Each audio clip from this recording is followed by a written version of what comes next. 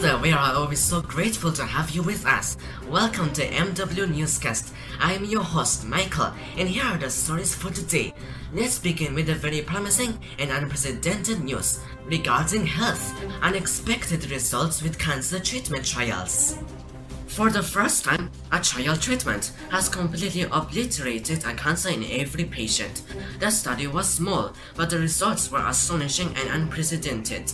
Experts says the trials need to be replicated.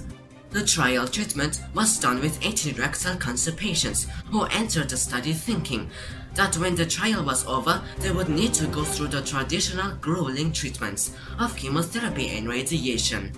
But at the end of the trial, they were told no further treatment was needed because their tumors had disappeared. Even more surprising, none of the patients had clinically significant complications. During the trial, patients took dostarlimab, a checkpoint inhibitor medication, every 3 weeks for 6 months. This type of medication unmasks cancer cells, allowing the immune system to identify and destroy them.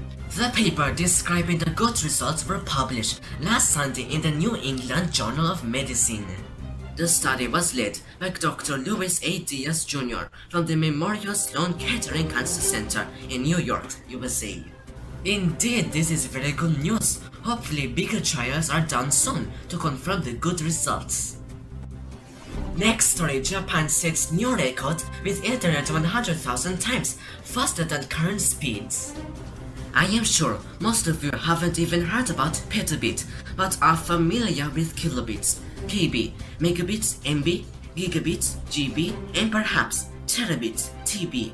Well, petabit is the next data unit after terabit.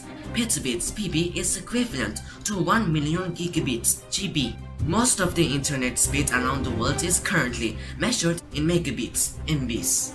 Speed varies from country to country, but currently almost everywhere the speed is quite fast compared to the past. Now, can we imagine an internet speed 100,000 faster than your current connection?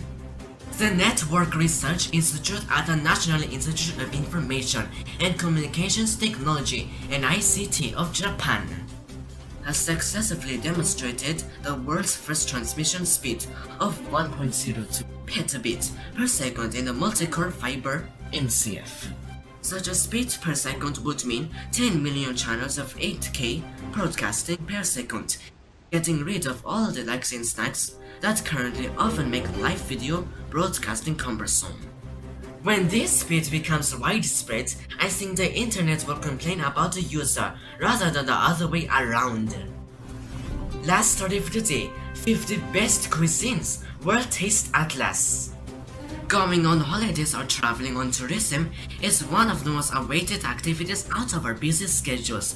When planning our travels, we just don't plan about places, but we also think about the kinds of food we will be tasting and eating. Well, for your next trip, TasteAtlas just released the 50 Nation June updated ranking with the best cuisine in the world. The top 10 is dominated by 7 European countries.